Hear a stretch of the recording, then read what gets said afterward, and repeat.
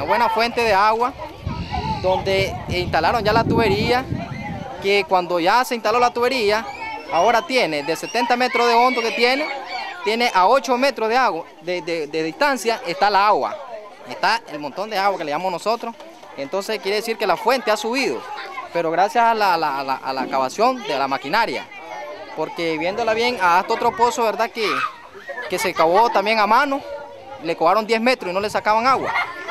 Y este no, este fue solo la máquina en dos horas ya había sacado el agua. Dicen que es una buena fuente lo que tenemos aquí. Entonces, la tubería que pusieron, pues gracias a Dios, ha funcionado siempre. Pues, y tenemos agua, agua siempre limpia para el consumo humano y para todo lo que es utensilio de la casa. Así es.